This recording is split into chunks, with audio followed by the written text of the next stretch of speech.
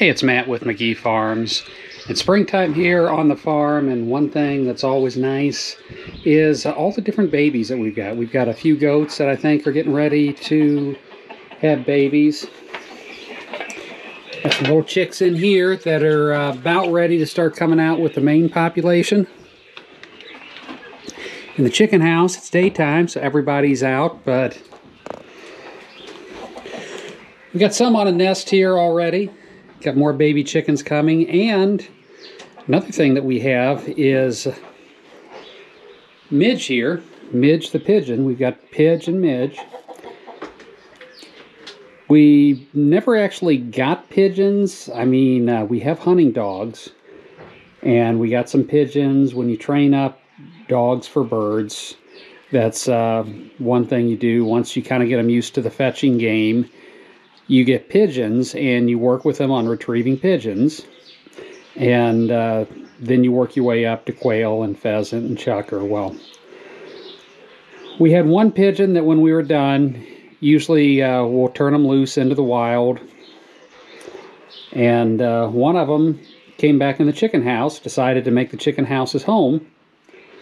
And uh, then six months later, he found a girlfriend and came back with her. So they just kind of adopted, started living out of our chicken house with our chickens. And now uh, We've had, I think, about six babies since then. She's on another nest. She just had one that just got big enough that they could start flying. They're flying around outside, and she's on another two eggs.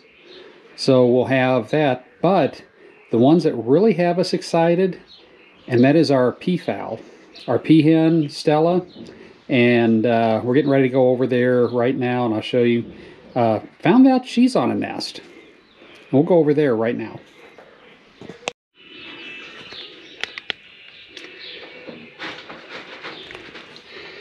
Well, actually, right after I went to walk away, I scared Mama Pigeon off. So there's a look at her nest and her eggs.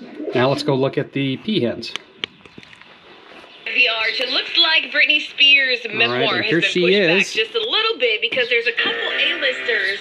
Very.